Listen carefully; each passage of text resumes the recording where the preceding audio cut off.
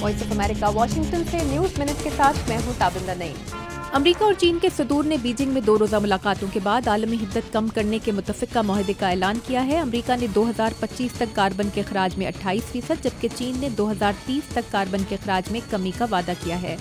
यूरोपीय खलाई एजेंसी आज खलाई जहाज़ रोजेटा से अपना पहला तजुर्बाती रोबोट फाइली दुमदार सितारे, शोरोमो, यराशिमिन को पर उतार रही है। दस साल पहले शुरू होने वाला ये तजुर्बाती मिशन चार किलोमीटर रकबे के दुमदार सितारे की सतह से मट्टी के नमूने हासिल करेगा। मगरबी किनारे के गाँव में मस्जिद पर हमले से इमारत की पहली मंजिल तबाह हो गई है। इलाका मेयर ने हमले की ज़िम्मेदारी यहूदी आबादकारों पर आयद की है। एक दिन कबल इसराइली कस्बे शफराम में एक सिनेगॉग पर बारूदी मवाद से भरी बोतल फेंकी गई थी।